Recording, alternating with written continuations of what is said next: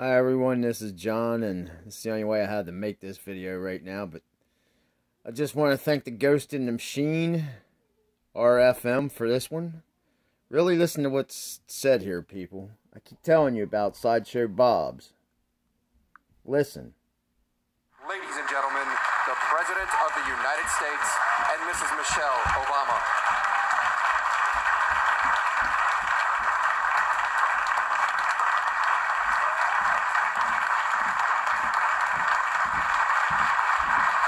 Tonight's a little bittersweet because this marks our final in performance at the White House. But for our last one, tonight's a little bittersweet because this marks our final in performance at the White House. But for our last one, it is fitting that we pay tribute to one of our favorites and one of the most brilliant and influential musicians of our times, the late, great genius himself, Mr. Ray Charles. Ray Charles.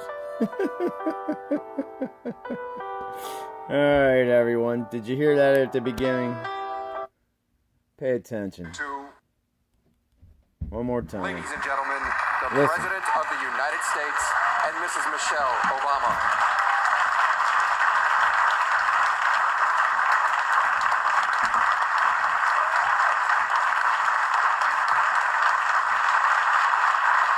Tonight's a little bittersweet because this marks our final in performance at the White House.